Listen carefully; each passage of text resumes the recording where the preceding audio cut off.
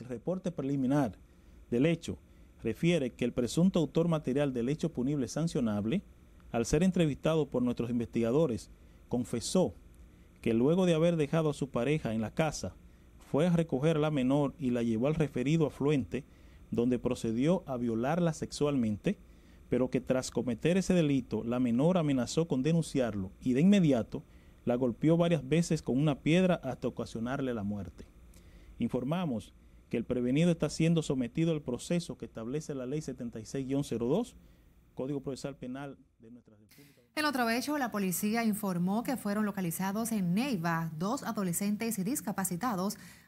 reportados como desaparecidos. Los adolescentes de 16 y 17 años, respectivamente, fueron entregados a la Procuraduría General de Niños, Niñas y Adolescentes para los fines correspondientes.